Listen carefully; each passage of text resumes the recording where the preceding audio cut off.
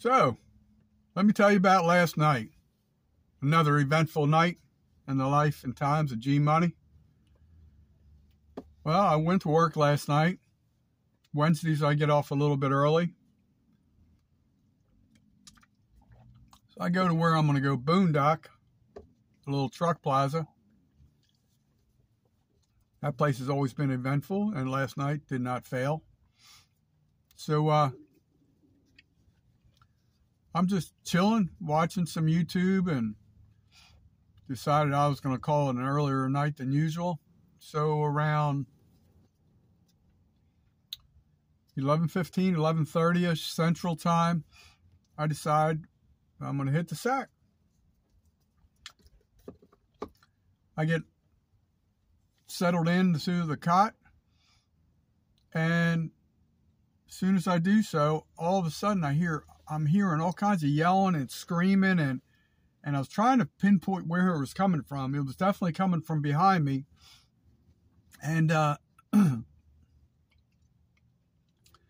didn't know what was going on because I wasn't asleep yet. I just laid down and I just really couldn't pinpoint the sound. So I, I popped my head up and all of a sudden, right, right the front of my van here, two cops on foot chasing somebody. I didn't even see see the person they were chasing, but uh, I look up and there's police cars everywhere, and I hear the popo yelling profanity towards the person they're chasing and telling them to basically get on the effing ground. And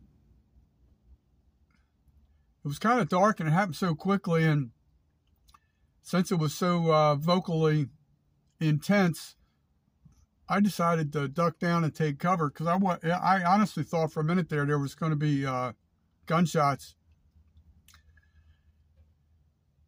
So i don't know what happened. I did pop my head up periodically and i saw police cars everywhere.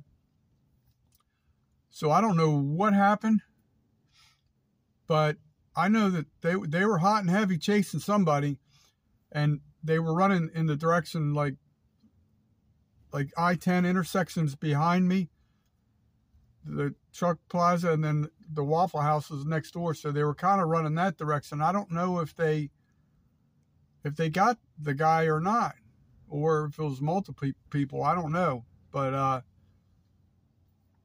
it was crazy when you go through something like that, then it's pretty hard to fall asleep afterwards because you don't feel comfortable or safe. But thought I'd tell you about last night. Always something going on. Gotta love Milton. I'm gonna do some homework, try and find out. The lady at the uh, at the truck plaza a little while ago when I got my coffee. Thank you, Regina. Said she was gonna watch the uh, the cameras and let me know what she saw. So maybe I'll have a follow up one day.